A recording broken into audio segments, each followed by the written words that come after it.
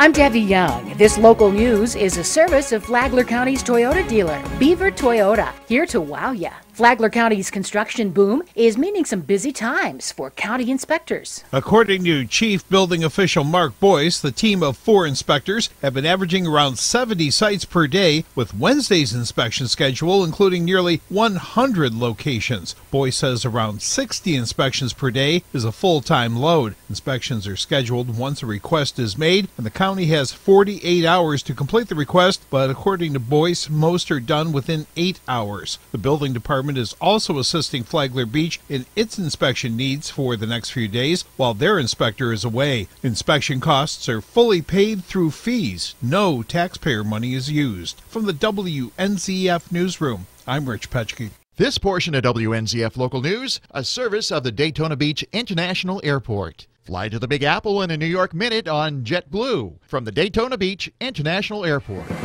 Flagler County Public Schools have been recognized as a silver level Florida Healthy School District. That's the proud announcement today from School Superintendent James Tager. The Florida Partnership for Healthy Schools collaborates with Florida Action for Healthy Kids, the Florida Association of District School Superintendents, and Florida Healthy Kids Corporation in recognizing districts for their work in promoting the physical, mental, and social health of students and staff. Flagler schools also learned that Belle Terre Elementary and Rymfire Elementary School both earned the 2018 National Health Schools Bronze Award as part of the Healthier Generations list of America's Healthiest Schools program. It's presented annually by the Alliance for a Healthier Generation. The schools are recognized for meeting or exceeding federal nutrition standards for school meals and snacks, offer breakfast daily, implement district wellness policies, and update their progress annually. And they provide students with at least 60 minutes of physical education each week. Superintendent Tager says this all goes to show that Flagler Schools is committed to helping our students and staff grow not only educationally and professionally, but physically and mentally as well.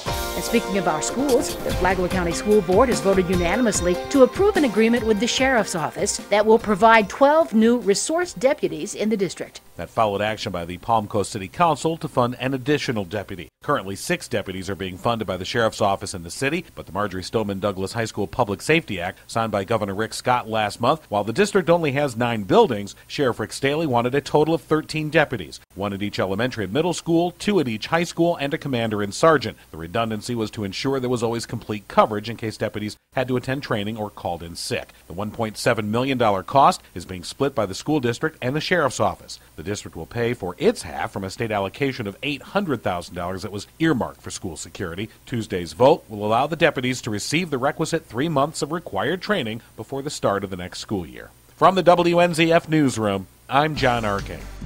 The inaugural Coquina Cup Life Saving Skills Competition is happening today, tomorrow, and Saturday at the Flagler Beach Pier. The event was created by Flagler County Tourist Development Office. Matt Dunn at the Tourism Office says it has been a long-time goal to create a multi sport beach festival. He says the inspiration for the Coquina Cup came when Flagler County hosted the U.S. Life Saving Association's Southeast Regional Championships back in 2015. Competitors will take part in three days of contests in life saving skills open water swimming, and paddle boards. Flagler Beach officials say the event could help local businesses that are still reeling from the impact of Hurricanes Matthew and Irma. Tourism officials say the long term plan is to make the Coquina Cup one of the highlight events of the year. And now you're up to date. I'm Debbie Young.